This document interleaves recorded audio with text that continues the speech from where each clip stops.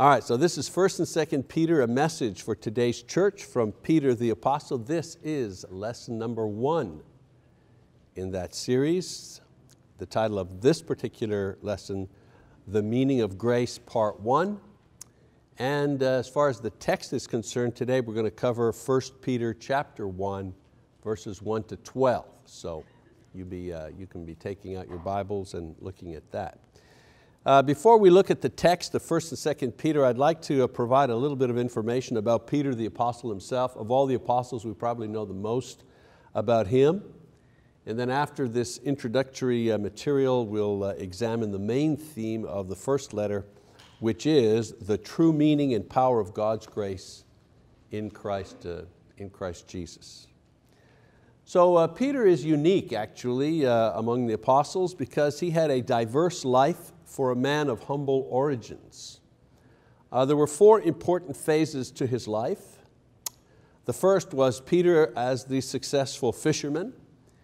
He lived in Capernaum where Jesus also lived as an adult. We know that from Mark 1.21. He and his brother Andrew had a fishing business together. He was married, he had children. Uh, we know this because he served as an elder, 1 Peter 5.1. And uh, his mother-in-law lived with him, which was not unusual for that time. Uh, families uh, lived uh, together, extended families. Also, uh, he was, he was uh, Peter the successful fisherman. He was Peter the disciple of Jesus. Peter knew Jesus because they lived in the same town and was introduced by his brother Andrew to Jesus uh, and his brother Andrew was a disciple of John the Baptist, so there, there are the connections. His brother is a disciple of John the Baptist, John the Baptist leaves, uh, leads Andrew to Jesus, Andrew brings his brother, you know, it's all connected. Um, Peter had both uh, high and low moments in his, um, uh, uh, in his um, life as a disciple of Jesus. Um, he uh, observed miracles, he performed miracles, that's a pretty high point. He was present at the transfiguration of Jesus. That's a pretty remarkable experience. He saw, uh, unfortunately, the death of Jesus, but was a witness also to His resurrection. Again, a pretty high point in his life as a disciple. But he had low points as well. He was reprimanded by Jesus uh, for suggesting even that Jesus avoid the cross. You know, that's, you know, get thee behind me, Satan. That, that was a pretty tough, uh, pretty tough rebu uh, rebuke for Peter. Uh, we know also that he denied knowing Jesus, you know, the betrayal, three times he denied knowing Jesus. Interesting that all four evangelists mention Peter's denial of Jesus. All four of them record that particular uh, event, a very low point in his life. Uh, so you've got Peter, the successful fisherman, disciple of Jesus. He was also a church leader. Paul says that along with James and John, Peter was a pillar uh, or leader in the early church. He was the first to preach the gospel, Acts chapter 2. Uh, and preach the gospel to many of the people who had you know, actually been complicit in Jesus' crucifixion. And so you know, Peter preached the gospel to them. First time he stood up to the Jewish leaders who threatened him in order to be quiet. And he didn't, uh, you know, he didn't back down, Acts 3 and 4. He also stood up to those in the church who wanted to keep the Gentiles out of the church, Acts chapter 15. So uh, you, you see him in his role as church leader um, af uh, after the departure of Christ. And then Peter as the author. Uh, he was uh, uneducated in the sense that he didn't have the kind of training that the scribes had. He wasn't stupid, but he didn't have that kind of training. He didn't go to rabbinical school. Uh, his writing style is simple when compared to the others, but the idea is profound. Some people believe that Mark's gospel, for example, is actually Peter's account of his experiences with Jesus dictated to Mark. And Mark is writing down what Peter is feeding him, and the net result was the Gospel of Mark. Uh, he did write two letters under his name, perhaps more, but we know of two that he wrote under his own name, 1st and 2nd Peter, and he wrote them to the same group. Uh, those people were uh, in Asia Minor today, we call that country Turkey. Around 64, 65 AD, uh, near the end of his life, he wrote these things. Uh, he died in Rome, crucified upside down because he refused to be crucified in the same manner as his Lord, and so he, they crucified him upside down. 67 AD, fulfilling Jesus' prophecy about him when Jesus talked about how he would eventually be martyred in John 21, 18. Uh, excuse me. It's interesting that many study the book of Romans, for example, or the book of Galatians to learn about the subject of God's grace. And this is okay, since in these two letters, the theory and the benefits of God's grace are well explained in the book of Romans, in the book of uh, Galatians. But it is in the book of Peter, the Peter's first letter especially, that we see what grace produces in a person's life. A life like Peter's, that is a mixture of good and bad, success and failure. You know, your life, my life. You know. In Peter's writings we find how grace affects the ordinary person. That's my point. So hopefully by the end of our uh, study, uh, we will have a greater understanding not only of what God's grace means, you know, unmerited favor and so on and so forth, the definition of grace, but we're going to actually see what it produces in a person's life. But before we do that, we need to first deal with some incorrect and inaccurate ideas of grace that a lot of people believe, unfortunately. So we start with what grace is not what it isn't. And when we mention the word grace to people, many times it conjures up different things to them. Some of the things uh, that they say or think about the subject of grace are just not biblical. For example, some people see grace as a form of liberalism. You know, some think that grace means that you can do what you want to do because as a saved person, God will not let you be lost and because you're under grace. You know, you're under grace. You do what you want. Of course, this is unbiblical because Paul in Romans 6.1 says, shall we continue in sin that grace may increase? May it never be. So Paul says that grace is not an excuse to continue sinning without guilt or consequence. Don't use grace as an excuse to just keep on doing what you're doing. So those who are under grace are not free to continue to sin because the Bible says the wages of sin is death or the wage of sin is death, Romans 6.23. So grace is, is not liberalism. Some people think that grace is permissiveness.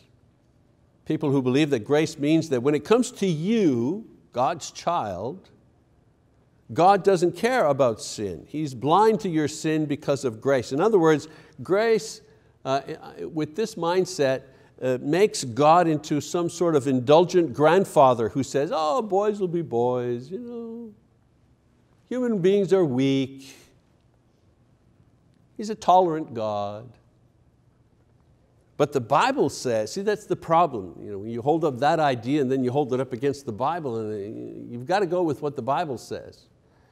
The Bible says, for we must all appear before the judgment seat of Christ, that each one may be recompensed for his deeds in the body according to what he has done, whether good or bad. 2 Corinthians 5.10. Does that sound like a permissive God to you? Doesn't sound like a permissive God to me. So grace does not mean that God ignores or indulges, indulges our sins. Not a single one. I knew a fellow once who was a, you know, a very pretty devout Christian, but he was a smoker. And, uh, and we talked about that, and, and I asked him about that, uh, and, and he said that God permitted him this vice because he was under a lot of pressure.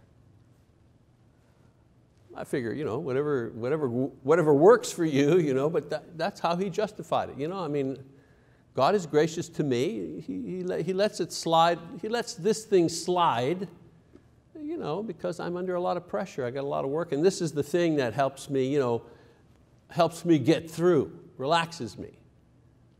You know, of course, it, it also poisons you, uh, gives you cancer and so on and so forth, but you know, why quibble? Uh, number three, what grace is not. It's not worldliness. Again, some people think that grace is a, a special permission that they have from God to simply remain in the world. By grace, they're going to heaven. So in the meantime, they can just be part of this world till it's time to go. In other words, no effort at holy living, no effort at spiritual growth, no effort at building the kingdom. These are the people who just you know, clock in, clock in, clock out, you know, church-wise, prayer-wise. But the Bible clearly indicates that those who are saved by grace are also transformed by that grace into something different. And we'll, that, that's what Peter really talks about in his epistle. Paul the apostle says that Christians produce spiritual fruit, love and joy and patience and kindness and faithfulness, as well as self-control, so on and so forth. So grace does not excuse us from living a holy and pure and fruitful and faithful life. It actually promotes it and permits it in our life. And then the other one I like is uh, premeditation. Well, I, when I say I like, the worst and most dangerous misconception about grace is that you can play around with it and use it to your advantage. Very dangerous. The most dangerous game in the spiritual world is presuming on God's grace. In other words, thinking you can sin now and enjoy that because later on God's grace will cover your tracks and actually having that mindset. You know, grace is not something that we use to enjoy sinfulness. When we do this, we don't realize that the net effect of this type of thinking is that it hardens our conscience to the point where we can't repent. We don't even know how anymore. This is what the Hebrew writer is talking about in Hebrews 6, you know, uh, verses four to eight, where he ends up and he says, where we cannot be renewed again to repentance. He's talking about hardening of the heart, people that play around with with grace. So liberalism and permissiveness and worldliness and premeditation, these are some of the things that grace is not. So let look at, let's look at Peter's epistle and after reviewing his introduction, we're going to see the first thing that grace really is. So let's first of all read verse 1, 1 Peter 1. Peter, an apostle of Jesus Christ, to those who reside as aliens, scattered through Pontus, Galatia, Cappadocia, Asia, Bithynia, who are, who are chosen, who are chosen. So Peter introduces himself first. In those days, letters were the reverse of what letters are today. Today you go, Dear Joe, and blah, blah, blah, how's it going? You know, your friend Mike. In those days, it was the reverse. Uh, uh, hello, this is Mike, blah, blah, blah, blah, blah, blah, blah.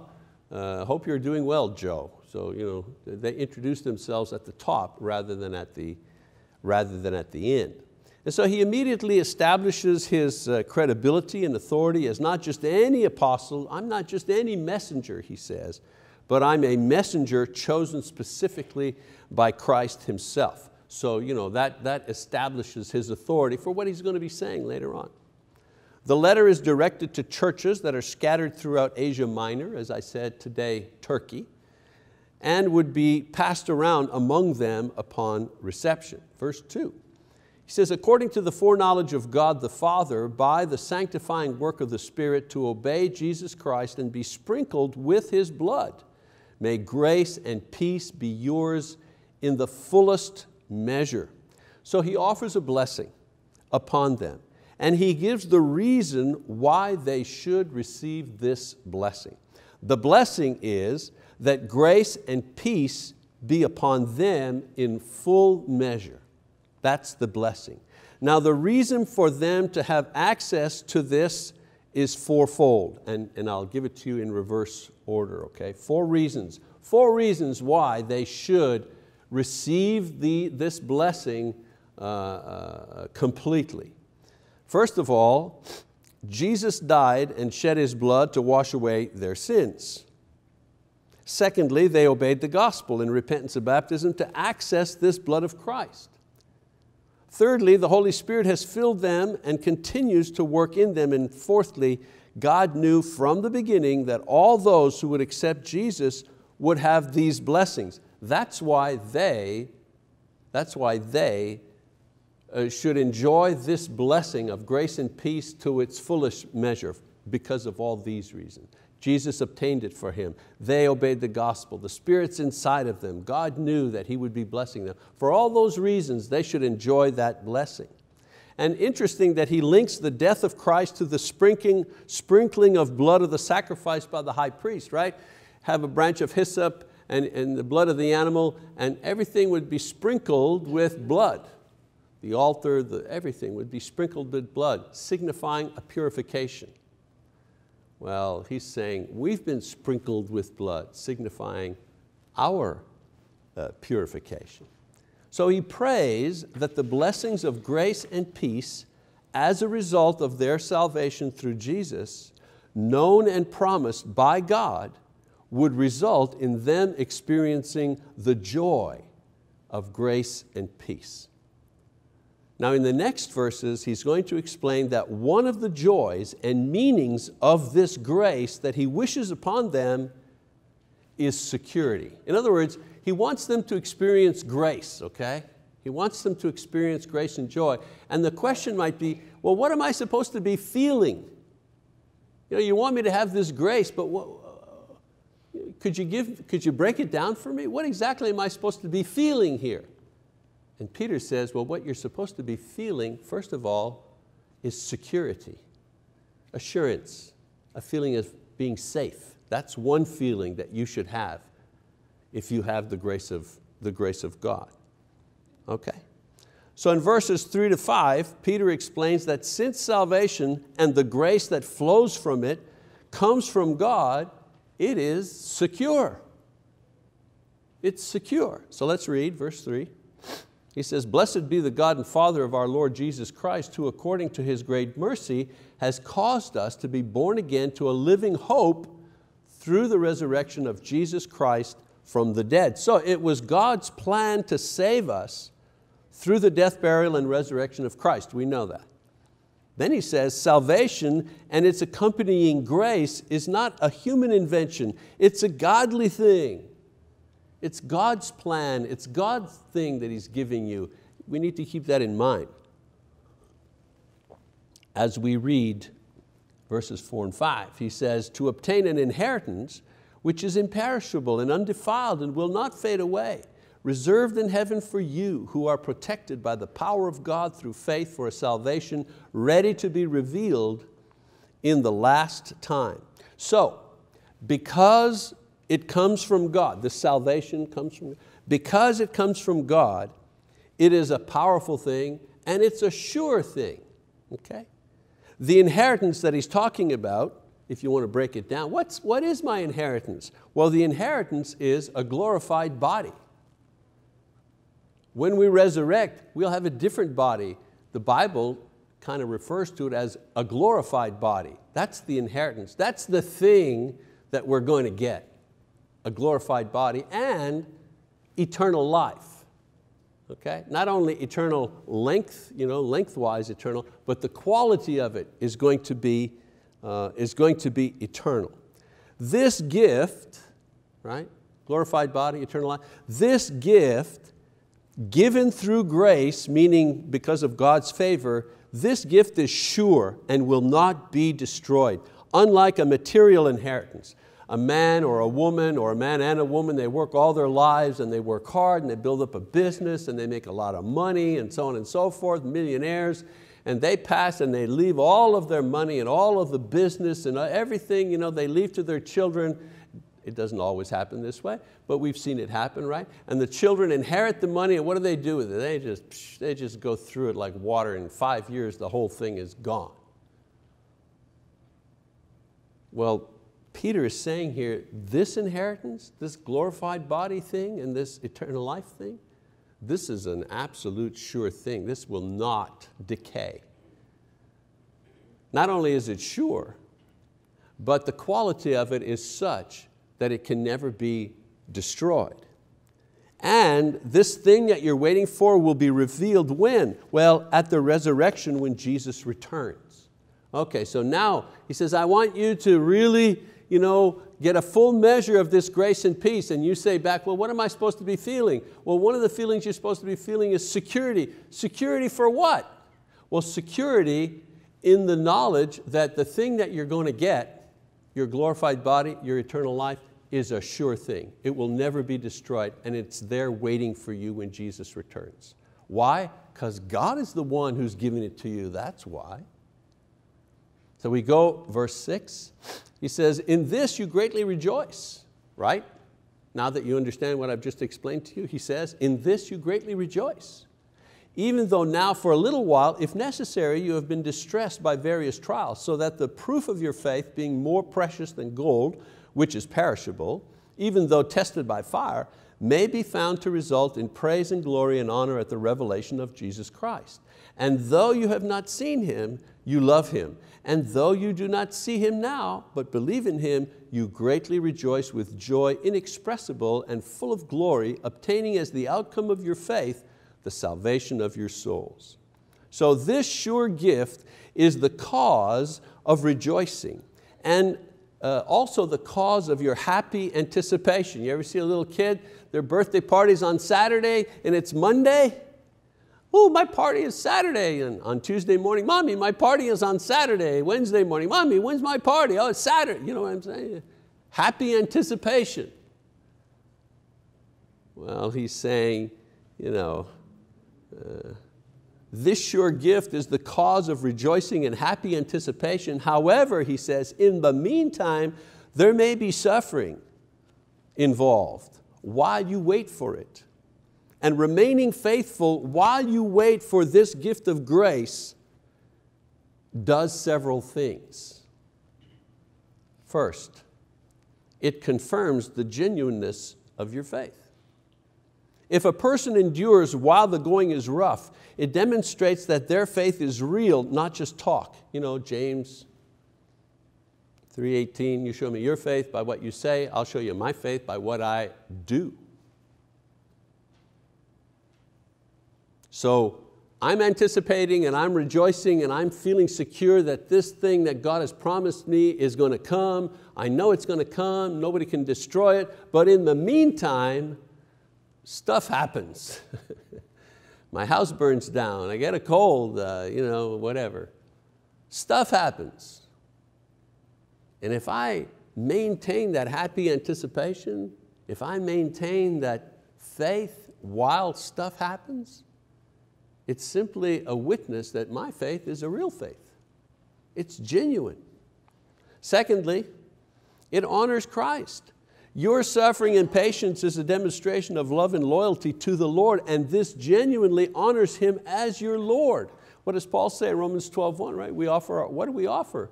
You know, I'm offering my friend's body as a living sacrifice. Uh, no, no, uh, you know, Paul says, I'm offering what? My body offer your body, my body, as a living sacrifice.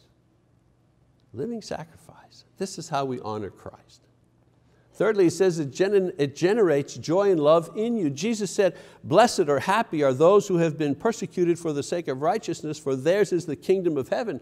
Matthew 5 verse 10. Well, this behavior demonstrates that they really belong. How do you know you belong in the kingdom? Well, Peter is saying, well, you know you belong in the kingdom when you suffer trials and the trials that you suffer actually produce joy in you rather than despair. That's how you know you're one of us. The world, people of no faith, they don't get that.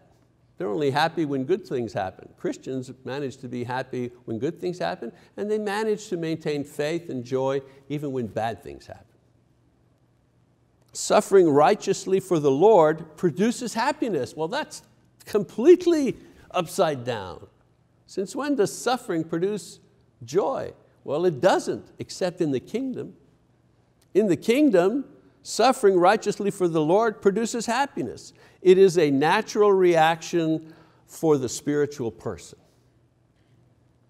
Number four, he says, it also guarantees salvation. A proven faith results in a secure hope of salvation which produces peace and joy in one's, in one's heart. And so Peter tells his readers that grace means feeling sure. How should I feel if I'm under grace? Well, I'm not feeling you know, liberality to sin, I'm not feeling permissiveness, I'm not feeling that I can be in the world without. That's not what I'm feeling. He says, if you're under the power of grace and you're experiencing the grace of God in your life, the thing, the emotion you should be feeling is security. I feel sure about my salvation. Uh, salvation. Even though there are times when one's faith is tested, continuing in faith will only strengthen that hope and increase the joy. You know how Christians say, you can beat me up, you can, you can whip me, you can throw me in jail, you can even threaten to kill me. I cannot deny what I know. I can't deny what I know. What I know is true. You can't beat it out of me. So if you're going to kill me, go ahead and do it. Because it's impossible to deny the thing that I know. So he finishes off verses 10 to 12. He says, as to this salvation, the prophets who prophesied of the grace that would come to you made careful searches and inquiries, seeking to know what person or time the Spirit of Christ within them was indicating as He predicted the sufferings of Christ and the glories to follow. It was revealed to them that they were not serving themselves, but you, in these things which now have been announced to you through those who preach the gospel to you by the Holy Spirit sent from heaven, things into which angels long to look. What's he saying? Well, he's saying in the last, in these last three verses of the section, he compares them, you know, the people he's writing to, he compares them to two other groups in order to show how secure they are in Christ. He compares them first to the prophets who spoke from God who did miracles, who counseled kings, who saved the nation over and over again.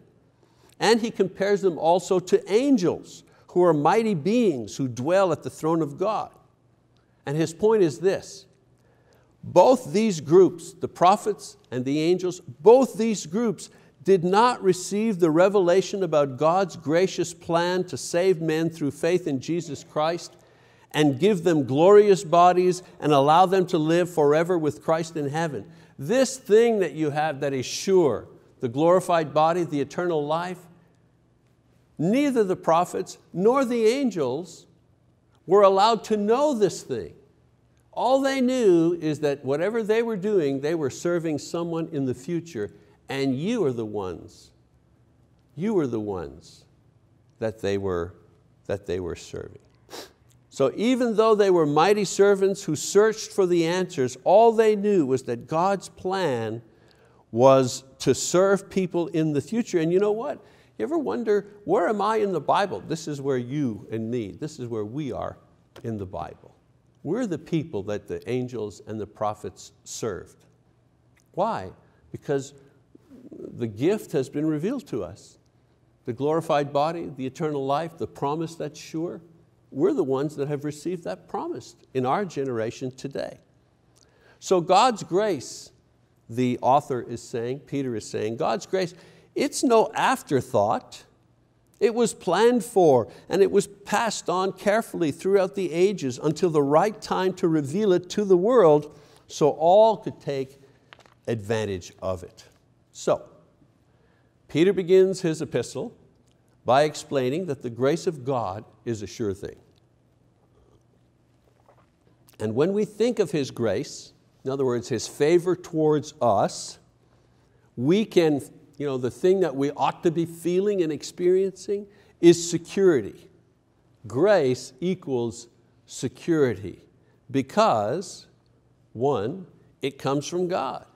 When a promise of blessing comes directly from God, you can be absolutely sure. That's security. That's security. You know, when I was a kid, my, my, uh, my mom and dad said, if, if, you, uh, if you get you know, A's and spelling and so on and so, we'll buy you a bike. We'll buy you a bicycle. Well, you know what? I didn't have the bike, but it's like I had it already. I was already you know, thinking of the streamers. Remember the streamers you'd put in the handlebars? You know, I was already thinking of the streamers and I was always thinking I'm going to put a bell on it, maybe go crazy and put one of those electronic buzzers, you know what I'm saying? Remember you had put batteries, in? I mean, it's like I had it already. That's when your mom and dad promises to do something, I mean, it's like a sure thing. And then when the day came and much to their surprise, I did get A's in everything. They tried to talk me out of getting the bike and try to buy me off with money. No, because they, you know, because they were afraid, you know, oh, a bike, he's going to be out in the street, he might get hurt, and blah, blah, blah. You know, oh no, I wasn't having none of it. You said you're getting a bike, I want a bike. And they got me a bike. With God, there is no last minute wavering. There's no change of plans with Him.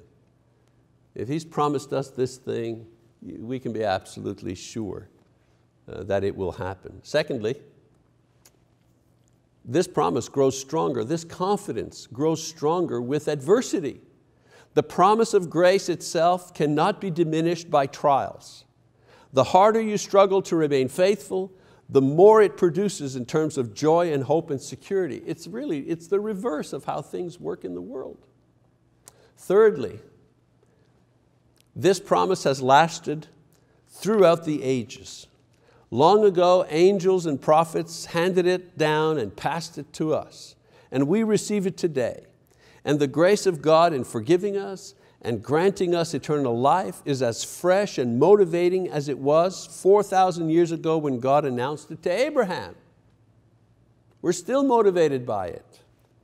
Grace means security security in God's uh, desire and His ability to fulfill His promise to bless us now and to save us forever. So we sometimes, you know, we sometimes doubt or we're afraid of the past or we're afraid of the future, but God's grace has wiped away the past with Jesus' blood. And God has guaranteed us the future with Jesus' resurrection. You know, some people say, well, we need to live in the moment. We need, we need to live in the now. And, and, and people don't know how to do that. How do I live in the now? How do I get there psychologically or spiritually? Well, the way you get there is you recognize that your past has been taken care of by the blood of Christ on the cross and your future has been taken care of by His resurrection. That's why you don't have to worry about the past catching up to you and you don't have to worry about the future not being what it was promised because Jesus rose from the dead. So if I'm not concerned about the past and I'm not worried about the future, I can live in the, I can live in the now. Well, in the weeks to come, we'll continue with other meanings of grace, but for now, we're going to remain with the idea of security. If you have received the grace of God through Christ, you can be absolutely sure of your eternal salvation. Do not be afraid to go through whatever trials you need to in order to remain faithful. It will be worth it. Remember what I said many times, Jesus' promise. It won't be easy, but it'll be worth it. That's our first lesson in 1st and 2nd Peter. Thank you for your attention.